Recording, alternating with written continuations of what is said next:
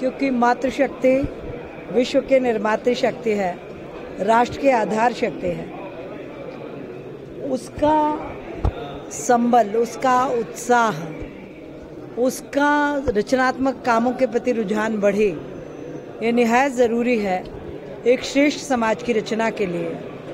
मातृशक्ति की सबसे बड़ी भूमिका होती है तो उसको सर्वोच्च स्थान पर रखना मुझे लगता है ये मध्य प्रदेश की सरकार की संवेदनशीलता का परिचय है।